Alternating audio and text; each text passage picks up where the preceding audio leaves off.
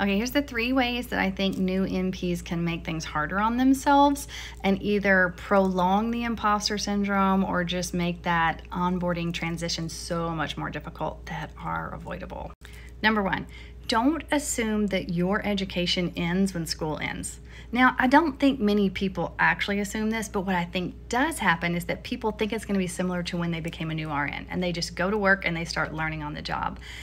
As an NP, I don't care what your specialty is, I don't care how narrow the focus is, you still are going to have to put in a lot of hours of self education, a lot of hours. Even if you're in like a structured program like a fellowship or a residency, it's still going to be a lot of hours every single week outside of work that you're putting into independent study.